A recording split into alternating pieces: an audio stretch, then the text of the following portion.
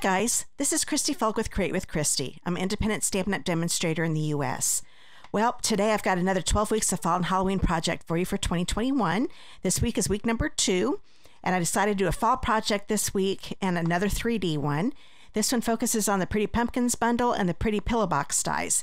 Now, the Pretty Pillow Box dies I just got. I got them today, and I also got this beautiful Blackberry Beauty uh, Designer Series paper and this beautiful gold shimmer ribbon. Those just came in the mail today, and I'm like, oh, I've got to get this used right now. So this is what I came up with. I wanted to show you a different way to use the pillow box.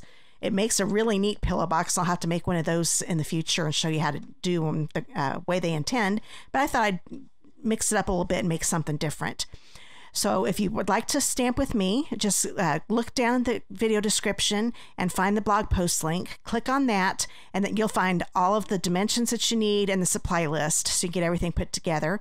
If you don't have some of the things on the supply list and would like to purchase them and live in the United States and do not have a demonstrator of your own, you can click on my online store link below and place an order and get the supplies together so you can make this. Okay, let's go ahead and get started.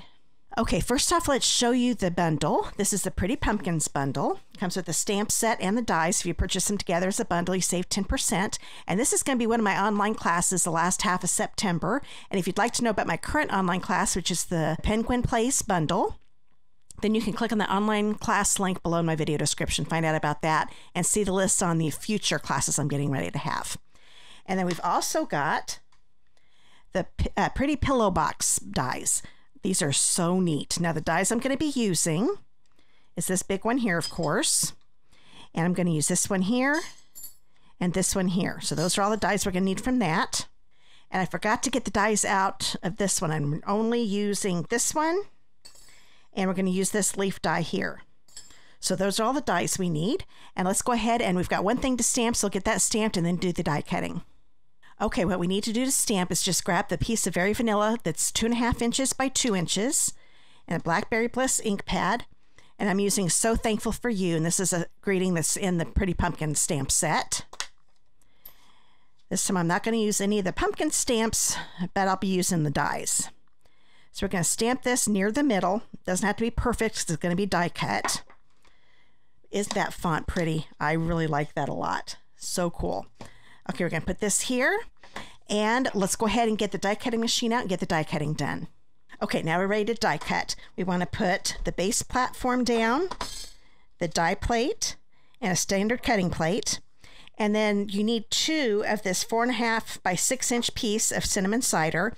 I'm just going to die cut one this time. I've already die cut one ahead of time, so you don't have to sit and watch me do two of these. But this fits perfectly. Right there, you'll be able to get two pieces of this out of one piece of cardstock. And then you need to put another standard cutting plate on top. Let's move this out just a little bit.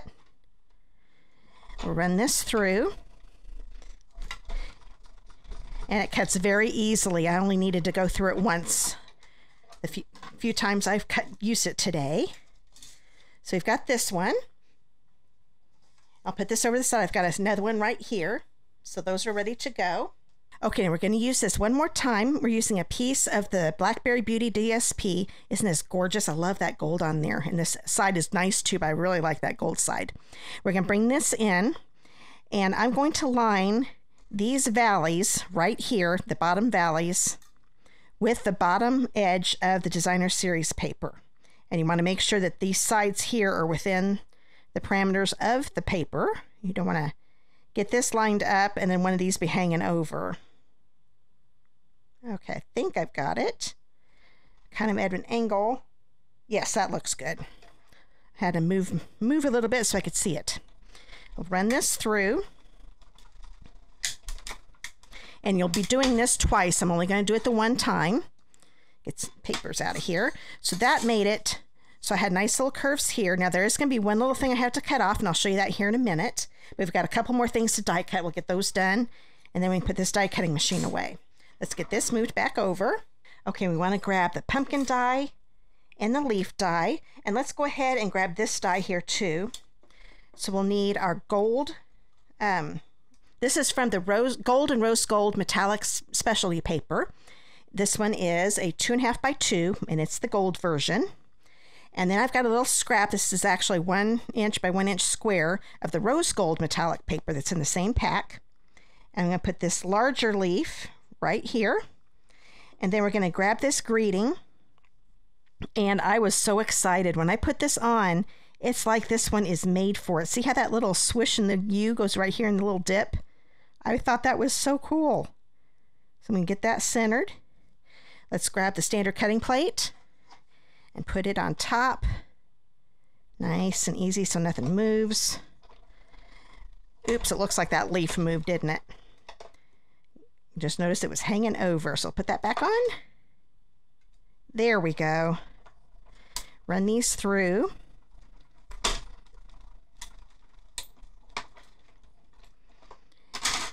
And I love that all of these dies that I'm using with the label that was in the pillow box. And didn't that look, I just love how that turned out. And then we've got this neat leaf right here. And then we've got our pumpkin. This is a pretty cool pumpkin, I think. I'm going to get these little strips out of here. And they come out relatively easy. There we go. So we've got this pumpkin here. Get all of these out of here. And we've got one more thing to do with the die cutting machine. I almost forgot. Let's go ahead and put this back over here at the side and get this straightened up. Now I am picking up both of these pillow boxes pieces and stacking them up so they're totally lined up here. Put this here. Now we need to grab this one right here that has the two holes and lay that right there in the center. It lines up pretty easy in those little scallops. Then you take the standard cutting plate again and run this through and it's actually going to go through both of them. I'm going to make it go through twice real quick. I was real excited when they both came out with no problem. There we go. I don't think I would do the pillow box, two pillow boxes at the same time because then you're not going to get the scoring lines that you need. But to do those um, holes works out fine. So now we're all done with the die cutting machine. We'll get this out of the way and we'll finish making this cute little pillow box. Okay, it's going to be really hard to see this, I'm afraid, but th- there is a score line. So I got this near the bottom. It kind of moved on me just a little bit. So I'm just going to trim it because I can see a little bit of a score line down here. So it's easy to fix that if you don't get it totally lined up. I had a feeling I had it off just a little bit. But up here, there is a score line that goes right across here. I'm really not sure if you can see that. I'll kind of move it around. So I'm just going to cut this off, just cut right along that score line. And this is going to make it fit perfectly on my pillow box. Okay, so I've already done that with this one. So we have two of these. And what we're going to do, I'm going to grab, I think it's a little easier to use the multi-purpose glue on this project. Because when you line these up while the glue is still wet, you can still uh, move it around a little bit. It has a little bit of give. Once it takes hold, it's not going to move. But while it's wet and hasn't soaked into the cardstock yet, you can move it around a little bit. So we're going to grab this one. And it's going to line up perfectly since we die cut it with the die. And get that lined up. I think I got that pretty good. Okay, so we've got that one ready to go. Do the same thing with this one. Put the glue around the perimeter. There we go. I thought I was about out of glue there for a second. That stuff always seems to happen in videos, but looks like I have plenty. Okay, so we're going to grab this one and put it on this top section. This cinnamon cider looks so good with this paper. I love it. That's actually the color of the leaves in this. I think that blackberry bliss in the background too. It just looks so pretty. I don't know if I've put cinnamon cider with the blackberry bliss, but I definitely will from here on out. I really like that. Okay, so we've got these ready to go. Let's go ahead and put these together now. What I learned the first time I did this, I put um, glue all around here. And then when I went to put this one on, I had glue sticking out of this little guy here. So this is the trick with this. Have one side with the DSP up and one side with it down. Then just put a little bit of glue right here in this little curve down here. And I just went ahead and put some across there too. And then we're going to do it on this side on this one. The trick is to make sure that one of them has the DSP facing up and one is, has it facing down. Because we're going to turn this one around. Let me stand up here. And we're going to line it up.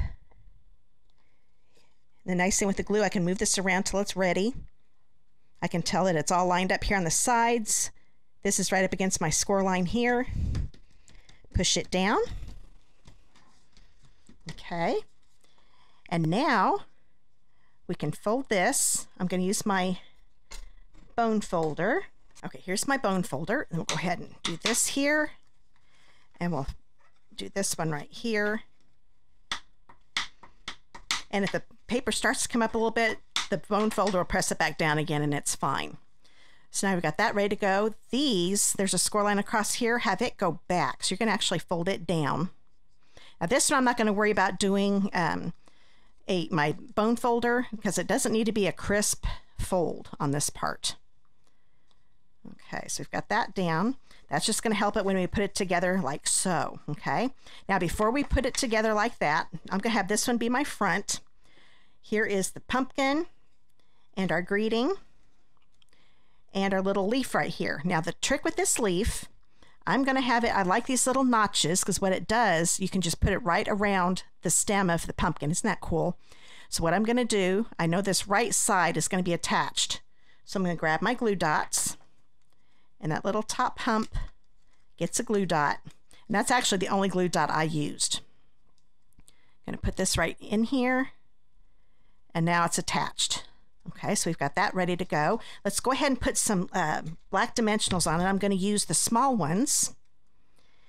And I'm going to put one right here where the uh, leaf and the pumpkin overlap. So that's going to hold the, the leaf on back from back here too. Gives a little more reinforcement. Put some here. Okay, and I think we just put one on each end. That one just fits on this end. This end's a little wider. So it's not so bad. Okay, then I'm going to grab my Take Your Pick tool. Oops, this is falling out. Take the paper backing off.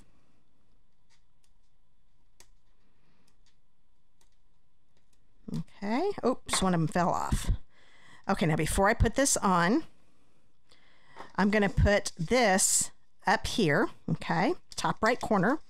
So I'm going to take my glue again. You can also use seal, of course. See if I can get this going again. There we go. Just go right around here. And then put it in the top right corner of my front, like so. Hold it down till it's attached really well. And then we can put this right here, and I'm going to kind of angle it a little bit. And I almost left it just like that, but then I thought it really needs a little something. So I grabbed the Simply Elegant trim that's in the annual catalog. It comes with gold and silver in one pack. This is a nine inch piece of the gold. I'm going to tie it into a bow. Made it longer than I really needed it to, but sometimes it's easier to have it longer than what you need when you're tying. And sometimes I will just tie it directly when it's still on the um, spool. And that way I can, um, I don't use as much. But actually, I'm not going to be cutting off too much. So I'm just playing around with it till it looks good. I'm holding on to the knot and bringing these down. And that's going to make them go closer to the direction I want them to. Now I'm going to grab my glue dots. This one's still not wanting to cooperate, but it will once I get it on there. And I'm going to put a glue dot on the back of the knot of the bow. As you're going, if I don't know if you can see this, but the glue dot is bigger than my knots. What I'm going to do is pull this up and squeeze the glue dot and keep folding it down till I don't see it from the front. It's going to make it even a smaller mini dot, uh, mini glue dot. And I'm going to put it right here on the stem of my pumpkin. I thought it needed a little something. Thought that looked good. Now, if you want to keep them long like that, you definitely can. I am keeping them longer. And I'll probably just cut a little bit off of that one. There we go. But I just thought that bow set it off really nice. Okay, now there are so many different things you can put in this. I had to go with what I had on hand. All I had were these two Dentyne fire gum things, and that can fit right inside. Now, if you can, uh, you can just do just one or two. Two works great. And I'm going to grab a piece of this gold shimmer ribbon that's 15 inches long. We're going to close this. Okay. And I'm going to put, actually, what we can do, it's easier if you start from the back one and pull both through both ends through both uh, holes like so. If you have trouble with it, then you can cut the ribbon angles, ribbon ends at an angle. I want to make sure that's straight there. It's not twisted, and it's not. Kind of pull this a little bit so about the same length. Then actually, I can put these in afterward. I forgot I did test that out. Then we're going to put this one right here. It's a little easier to thread the ribbon when you don't have your candy or whatever gift in there yet. And then we'll bring this through. There we go. Bring these tight. Okay because I do know I want these together really tight. And we're just going to tie a bow. So let me lay this, see if I can lay it flat so you can see what I'm doing. It's a little hard to make it so you can see. there we go. Get my bow this way. I always make them perpendicular after I make that single knot. Then the bottom one I loop. And then I bring the top one around my finger. Thread it through the hole. And there we go. And just play around with it till it looks good. The trick is getting your tails to go down the way you want. So you just keep playing with them and then tighten it up. Now that bow is looking a little bigger than I want it to. So I'm going to bring them down a little bit, tighten them up again. That looks pretty good. And try to get this one to go down. So when you've got it where you like it, then you can trim off the ends at an angle. Once again, I'm going to keep them a little bit longer. There we go. And now I can go ahead and slide these inside. They'll go right in and if you can think of any, if you make one of these and you come up with something else to put in there, just comment below and let me know. I want some new ideas with this. This is all I had on hand, and I haven't been to the store to see if I can find something else. But see, you can see how those fit pretty good. I'm really happy with that. So I hope you enjoyed this week's 12 Weeks of Fall and Halloween. I'll be back again next Friday around th- between 3 and 4 p.m. with a new video.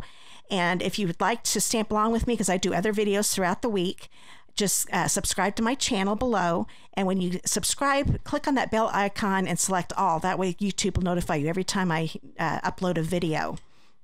And if you live in the United States and do not have a demonstrator of your own, I would love to be yours.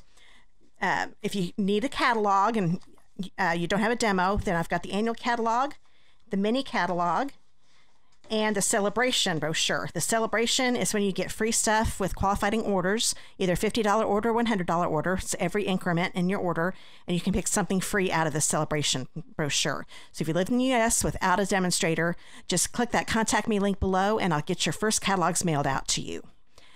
Okay, well, I once again, I hope you enjoyed this. Let me bring this in so you can see it again. I really had a lot of fun doing this, and that paper is gorgeous. So I hope to see you again throughout the week, definitely next week for my, ne- my next 12 weeks of fall and Halloween. Have a great day, guys. Bye.